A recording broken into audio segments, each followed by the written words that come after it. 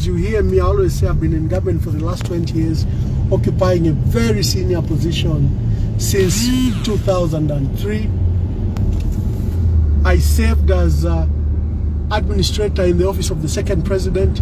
It's, um, it's uh, a constitutional office under the office of um, under cabinet office. I served in the office of the second president, Dr. Frederick Chiluba, as his administrator and as his spokesperson. The equivalent position there was that I was deputy permanent secretary. And I have been deputy permanent secretary from 2003 to 2011 when I became permanent secretary. And then the last seven years I've been an ambassador in foreign service. So for someone to doubt that I can build flats is uh, extremely strange. First of all, when I was appointed permanent secretary, I was retired in my earlier position as deputy permanent secretary.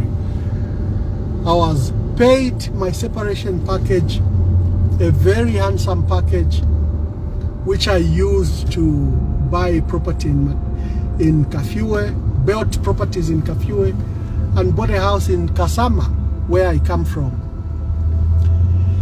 Uh, when I served as permanent secretary for almost a period of five years, and this is the most senior position in government, other than my emoluments and allowances, when President Sata relieved me of my duty, I was paid again a big handsome package. They gave me my motor vehicle, the Prado, Land Cruiser Prado.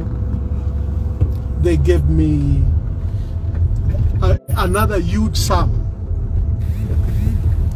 Then I've been ambassador for the last uh, uh, seven years.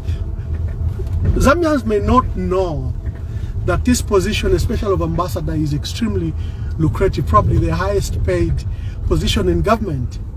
Because wherever you are in the world, the emoluments are about 8,000 to ten thousand dollars a month in foreign service allowances, and I also retain a salary back home. So I have two salaries as an ambassador or as a diplomat. I have foreign service allowances to my for my upkeep, and uh, then you have a local salary. So ten thousand dollars a month is uh, a lot of money. That comes to about two hundred thousand kwacha a month.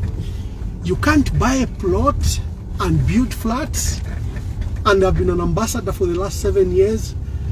So this act is an act of um, abuse. I think I'm being intimidated. I've been extremely vocal, extremely critical of President Hakainde Hichilema. But my criticism of Pro President Hakainde Hichilema is uh, is professional. I'm here. This this is my property, and I'm told that the ACC are here, and I want to understand why restriction notice has been given to me. So join me as we have this discussion. I'm a journalist by profession. I'm an administrator. I'm a diplomat. So sometimes it's better to walk people along because they want to scandalize, scandalize us unnecessarily.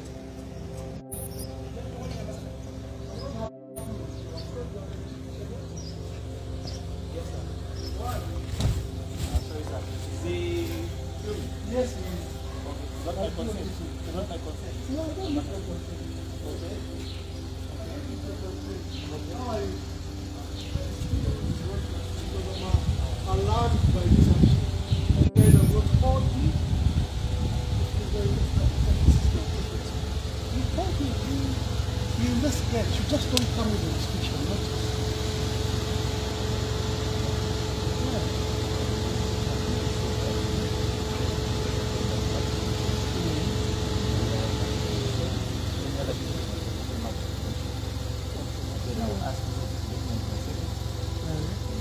You can receive it.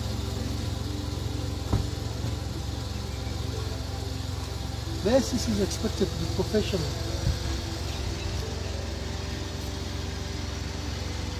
You, my biggest grievance is that you just can't restrict an asset.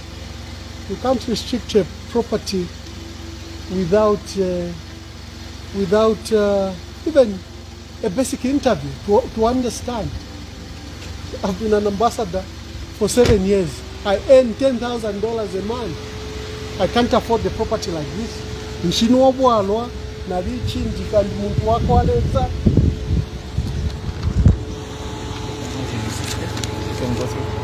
mm.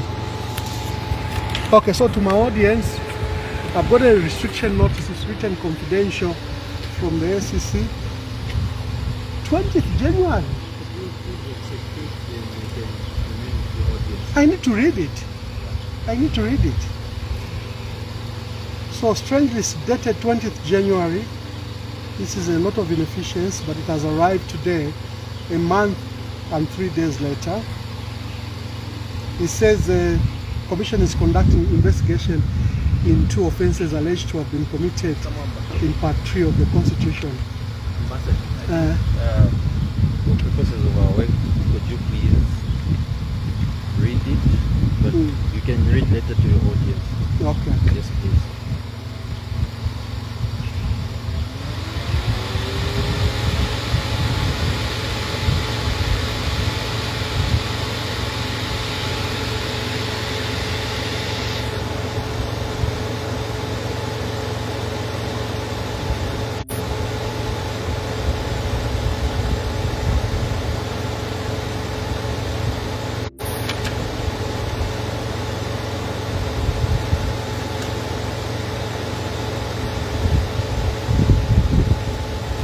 Okay, so you can keep the officers out of it. They're professionals. You shouldn't uh, criminalize them or endanger their lives.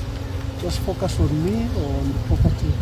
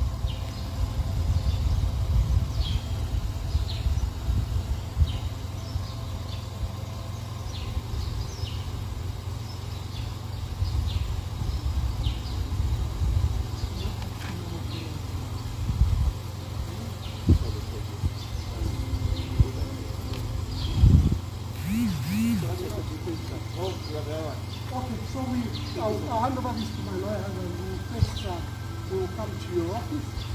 Because I know that this actually is, uh, illegal, totally and there's no justification for it. So my lawyers will come. You cannot wait for them. Come back. Okay, so, um,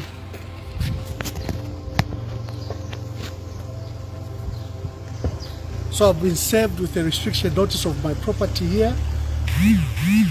Uh, the document says um, they are using part 3 of the Anti-Corruption Commission Act number 3 of 2022 and that um, my property here in Makeni Baumoro uh, has been um, restricted because they are following up on investigations. So let me reiterate what I stated earlier, that this is an abuse of the law. This is um, uh, a clear intimidation. I've called out President Hakainde Hichilema because he's the one who's the subject of my discussion as head of state. I criticize him on his appointments. I criticize him on his corruption. I criticize him on poor governance. I raise issues that are beneficial to this country. And I think that this is an act of intimidation. I have been working for the last um, uh, 20 years at senior level as Deputy Permanent Secretary and as Permanent Secretary. The last seven years I've worked as ambassador, earning in excess of $10,000 foreign, allowance, foreign service allowance per month. I know many Zambians don't know that. That's how much your, your ambassadors and diplomats they get between $6,000 depending on your ranking and position to $10,000. Na ngutawako atamano. You cannot build, buy property. You cannot build a property if you are earning in excess of 200,000 kwacha a month. And uh, you know, the last 20 years, I've occupied very senior positions. So I regard this as an act of intimidation because the ACC should have called me and I could have brought my documents to justify the assets that I have. Then they could have established if there was criminal conduct along the way. I'm a subject of uh, Zambians. Many Zambians have followed my life from the period I served with Dr. Chiluba. In my office, I've never had any audit. In fact, the Parliamentary Accounts Committee chairpersons usually would use me as an example because there were usually zero audits from areas where I served. When I moved into South Africa, I conducted an audit before I left, before I moved in. When I left, I conducted an audit. Similarly, I did the same in Ethiopia. So for anyone to come and criminalize owning of assets or prudent savings of money is, is just an abuse. But I will not be intimidated. Right now, as you saw, I'm with the media because I was doing my usual weekly brief. Today, I want to discuss the Economic uh, uh, and Financial Crimes Court is setting up and the directives it keeps on receiving from President Hakainde Hichilema. I think that that's unconstitutional, that's illegal. We've been disturbed by this small matter, but we'll soldier on and we'll keep on providing checks and balances, whether they intimidate us, whether they try to to, to you know to go to, for our assets or our lives. We have to speak for Zambians, and we have a country to save. So thank you for following me, and God bless you. And um, our lawyers will I will submit this to our lawyers, and will quickly challenge this restriction notice because it's not justified. They are using law enforcement agencies to attempt to intimidate me or to intimidate all of us, because all of us are being harassed, those that speak against President Hakainde Hichilema. If I had kept quiet, the ACC would not be here. So you see, they are not following crimes, they are following individuals to attempt to shut them up, intimidate them. And for me, I will not allow that. Thank you and God bless you.